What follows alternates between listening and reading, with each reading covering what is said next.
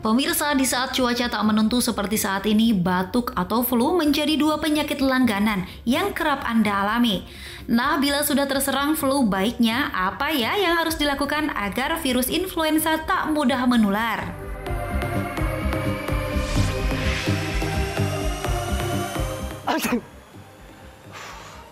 Pemirsa, flu adalah penyakit yang mudah menular.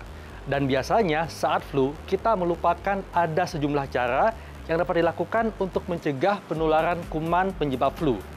Di cara set kali ini, kami akan tunjukkan beberapa cara yang sederhana yang dapat Anda lakukan untuk mencegah penularan virus atau kuman penyebab flu. Ingin tahu seperti apa? Berikut tipsnya untuk Anda. Pemirsa, menggunakan telapak tangan untuk menutup hidung dan mulut saat bersin adalah cara yang salah. Nah, yang tepat adalah gunakan tisu untuk menutup hidung dan mulut Anda ketika sedang bersin. Setelah itu, buang tisu ke dalam tong sampah yang tertutup. Gunanya untuk mencegah penularan virus melalui udara.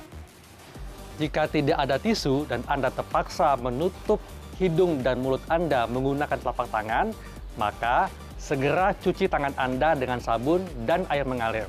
Hal ini bertujuan untuk memutus rantai penularan virus atau kuman penyebab flu. Dan yang terakhir, yang paling efektif adalah menggunakan masker. Pastikan Anda gunakan masker dengan benar, yaitu kawat putih selalu berada di atas.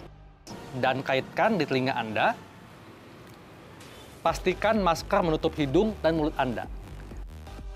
Demikianlah cara sehat yang sederhana untuk mencegah penularan virus dan kuman penyebab flu.